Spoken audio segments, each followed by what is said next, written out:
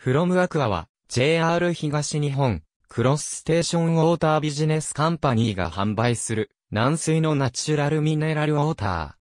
ー。1984年11月に日本国有鉄道から発売された谷川連邦の原水大清水を前身とし、2007年7月より現在の名称となる。主に東日本旅客鉄道の駅構内にある自動販売機アキュアキオスクコンビニエンスストアヌーデイズで販売されている。パッケージデザインのモチーフとなった谷川岳一の倉沢水源は、群馬県利根郡水上町の上越新幹線台、清水トンネル内、谷川岳の地下約1000メートルの地点にある。谷川連峰に降り積もる雨や雪が、ホルンフェルス、ジャモン岩、花崗岩、緑色業海岩、結晶片岩などの地層を通ることでろ過されることにより、高度20、pH7.3 のまろやかな軟水が誕生する。フロムアクアのすべてのパッケージデザインは、大清水発売当初と同じく、谷川竹一の倉沢をモチーフにしてデザインされている。フロムアクアは1971年に着工した上越新幹線高下高原駅越後、湯沢駅間の大浸水トンネル掘削工事中に湧き出した地下水を原水にしている。1978年8月、掘削中に遊水体に遭遇し、毎分33トンの大規模な出水が発生。後に、ここが大清水の採水地となる。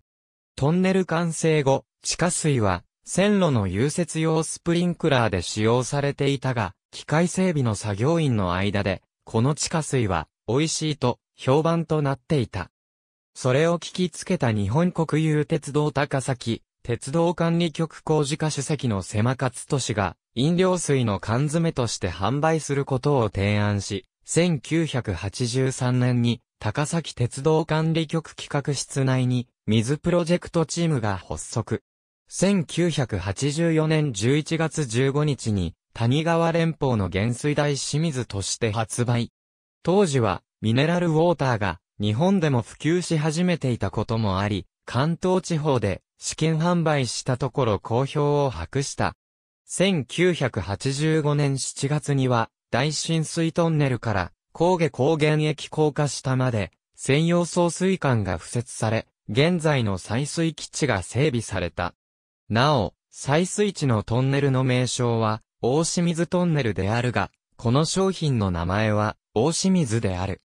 これは、美味しい水をもじったもので、また読みに濁点がついていないので、水が濁っていないという意味もかけられている。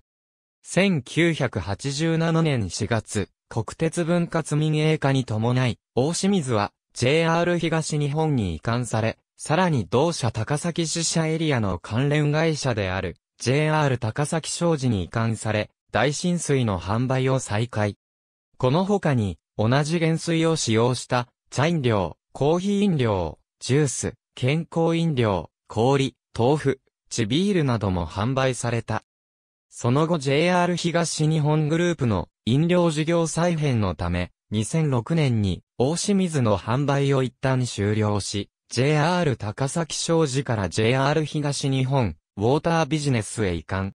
そして2007年7月に水から始まる1日というコンセプトのもと、フロムアクアとしてリニューアル発売した。大清水では瓶、缶のラインナップがあったが、このリニューアル以降はペットボトルのみでの展開となった。他社のミネラルウォーターと競合が激しくなってきたことから、2012年3月には持ち歩きたくなる水をコンセプトに、海鮮時にキャップをボトルにくっつけたまま飲める、落ちない、キャップを使用し、新しいデザインにリニューアルされた。出店、朝の茶事弁当。ありがとうございます。